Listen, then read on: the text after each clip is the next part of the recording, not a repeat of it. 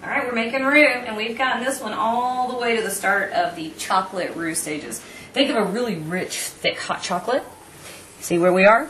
Isn't that beautiful? And the smell is unbelievable. Now, a roux is nothing more than a mix of oil and flour in equal proportions. Well, actually, you know what? You can tweak it more or less, however you like it. I actually like it a little more flour than oil, but in this case, I've just done the traditional 1-1 ratio, or 50-50, or however you want to list it. Now, the trick with the roux, don't stop stirring, especially when it gets to this stage. And if you've seen the other videos, I had a second one going over here. I've actually turned him all the way down so I can concentrate on this one now, because this is where it really gets tricky. Now, the only tricky part is to not stop stirring. Now, you use a roux as the base for soups and stews and, and sauces. And this one is going to go in a traditional, well, semi-traditional Cajun gumbo. I've got shrimp and crawfish and sausages in the, in the fridge, and that's what this one's going to go for.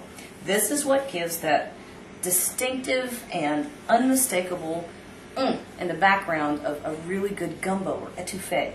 This is that nutty, luscious, rich, deep flavor. Well worth a little time and effort to make it. So if you're making a chocolate roux, this is what you want to look for. It literally simply refers to the color. You have to cook it low and slow for a good long time. I like to use cast iron. And I'm actually probably going to take this one just another stage or two darker. So if you want to see what a dark chocolate or brick roux looks like, come back and I'll show you next time.